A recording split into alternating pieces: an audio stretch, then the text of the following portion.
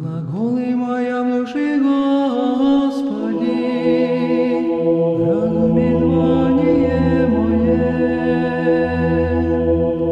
Возьми глаз умоления моего, царю мой Боже мой. Я как тебе помолюсь, Господи. Рождество Твое, Богородице,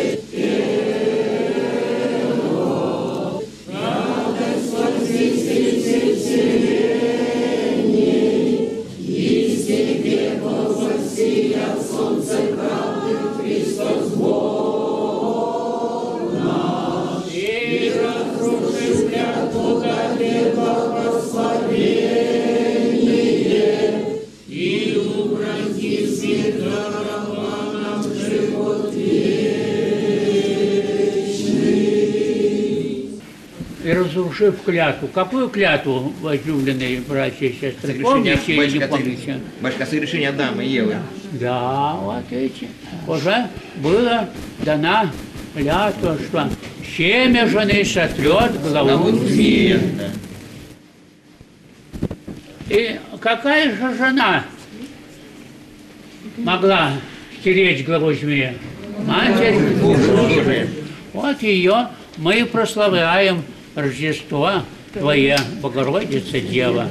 Радость, веселье И Господу мы тоже поем на Рождество. Рождество Твое, Христе Бог наш, гости мира и свет разума. В нем возверждал служащий, звездой участок. Вот а от Матери Божией из тебе было все солнце правды. Это солнце правды, кто это? Сам Господь наш Иисус Христос. Он будет, она как бы предвещает всей вселенной, что родится Спаситель мира, который сотрет главу змея. И так и есть Господь сокрушил демонов. Да, помните, как искушал Господа демон? Да, все тебе, все царство земное, только поклонись. А Господь говорит, отойди, и искушай. И в пустыне э, э, тоже враг искушал. Э, Людочка, ты видишь, какое искушение получилось, как разбилась. А Господь сохранил ее. Вот. А за грехи нам бывает, Господь посылает нам и болезни. Да и вашими молитвами, батюшка, Господь Поэтому будем всегда молиться и просить, молитвы. да, что не по заслугам нашим, а только по молитвам Царицы Небесной и Господа нашего Иисуса Христа. Будем всегда верны Господу, служить Царице Небесной, особенно научать детей молитвы. Какую первую молитву детям мы даем? Богородица, Дева, радуйся, благодатная Мария, Господь с тобою, благословенна ты в женах, и благословен плод чрева твоего, яко Спаса родила и сидишь наших. Вот видите, и эта детская молитва, она остается на всю жизнь ребенку. Да. Мать это в первую Всем. очередь должна учить ребенка молитвы, чтобы молитва до конца жизни сохранялась в сердце дитячем. Да. И я очень рад, возлюбленные братья и сестры, что вы любите Господа, собираетесь в Дому Божие. А благо мне есть приметайтесь в Дому Божие, ежели жите в селении. Видите как? Поэтому благодарите Господа, что наши ножки еще бегают по дорожке. Господь дает нам, а уж другой раз и сил-то нет. А все равно, ну, Господи, надо, надо, Надо. пока еще Господь дает дыхание, надо спешить в Божий храм, Божий. молиться, просить. И Господь все воздам, Господь говорит. Вот, по вашим молитвам, по вашим слезным прошениям я буду с вами во все дни до скончания века. И вот мы вчера говорили о печали, а сегодня мы будем говорить, А радость. забывая о себе. А, Мы должны не только печалиться, но бывает, что должны и забывать сами себя. Это говорит евангелист Иоанн. «Прибудьте во мне». Это в ком прибудьте? Господи. Господи Иисусе, да. И я в вас. Как ветвь не может приносить плода сама собою, если не будет на лозе. Слышите, братья? Так и вы, если не будете во мне, и я не буду в вас. Да. Видите, братья и сестры? Вот, вот какой лозы-то привито. Божьей лозы.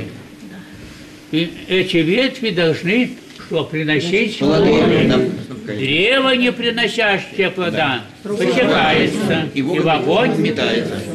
вот что. Поэтому будем всегда верны Господу. Ну, посмотрим, как же мы верны Господу, как же мы живем в Господе. Никакой человек не может достигнуть величия сам по себе. Слышите, братья и сестры?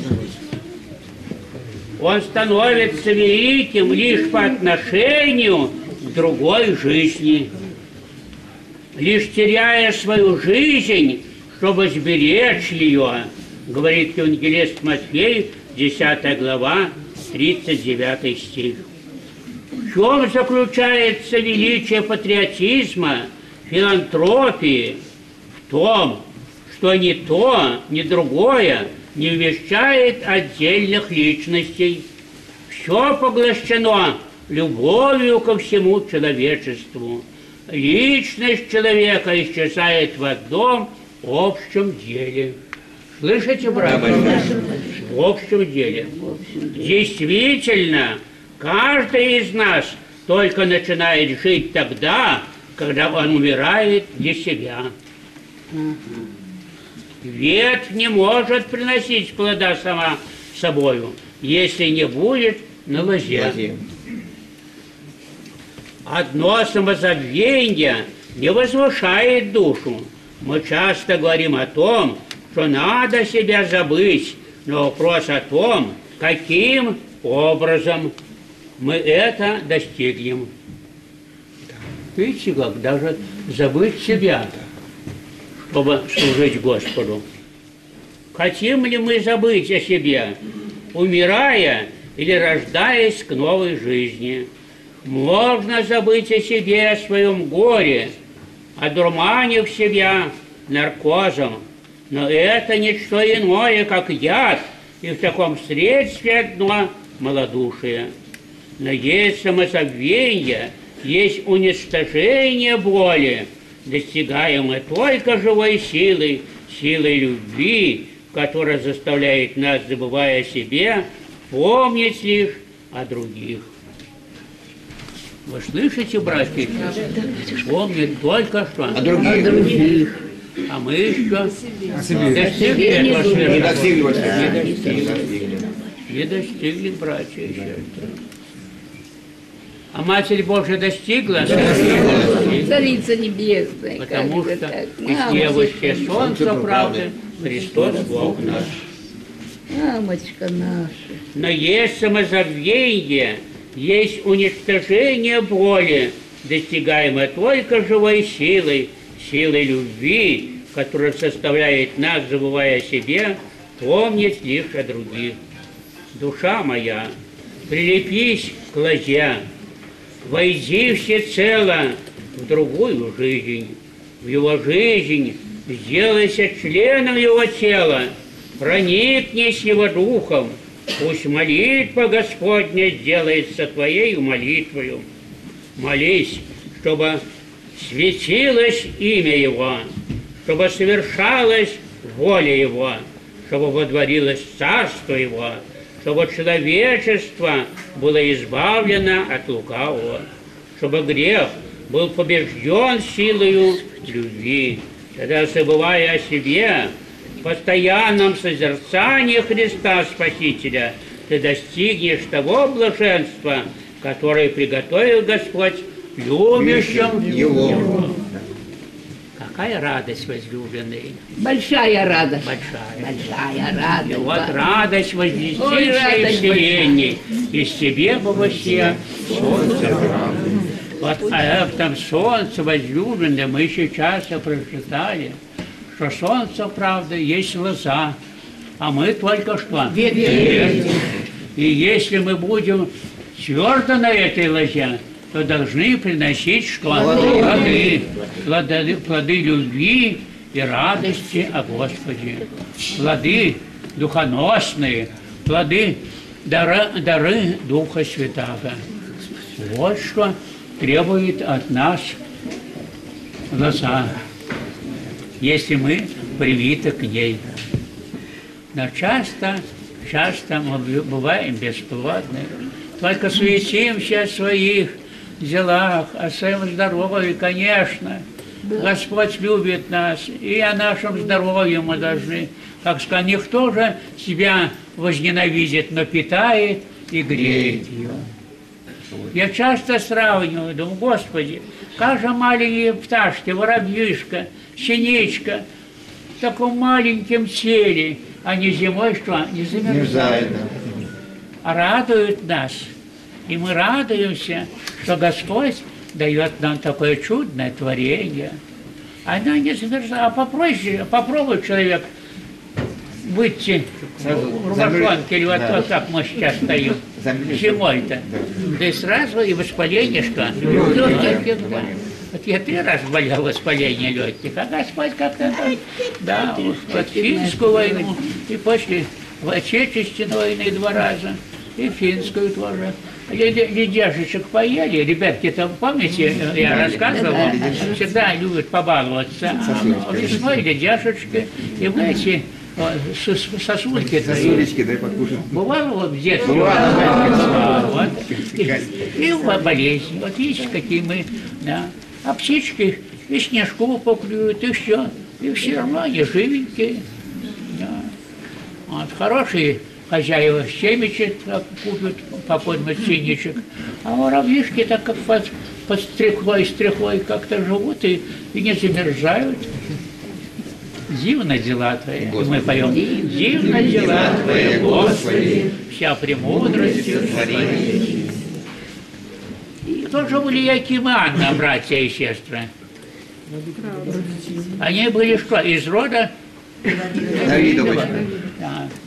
Ну и они имели детей или нет? Нет. Хотели они детей? Хотели. Молились очень. Они, Слезно.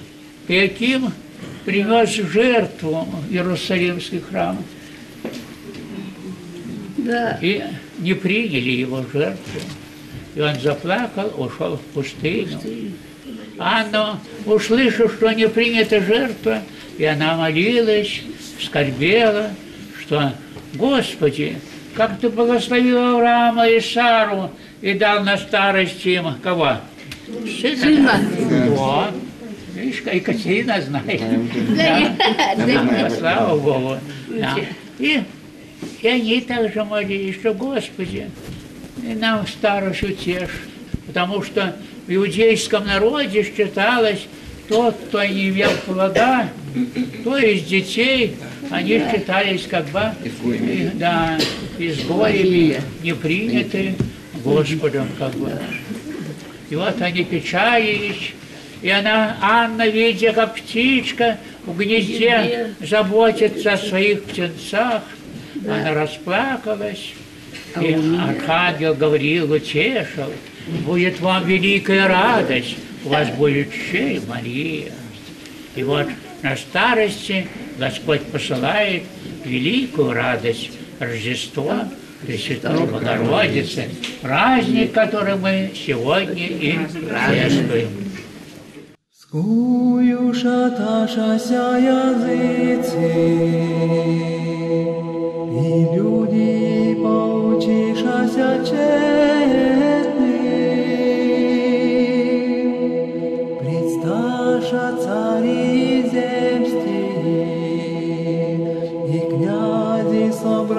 峡谷。